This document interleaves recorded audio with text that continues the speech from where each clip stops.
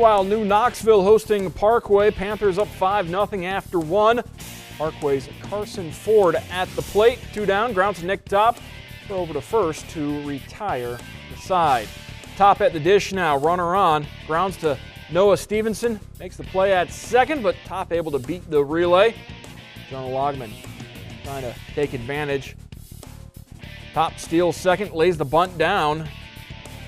He's safe, and Top comes all the way in to score as New Knoxville gets on the board down by four Rangers, sticking with small ball. Jack Bartholomew with the bunt right down the third baseline. He is safe at first, two on for New Knoxville. But then Brad Puckett flies out to Alec Shanelben for the final out of the frame. Parkway gets the victory at New Knoxville, 16 to 5.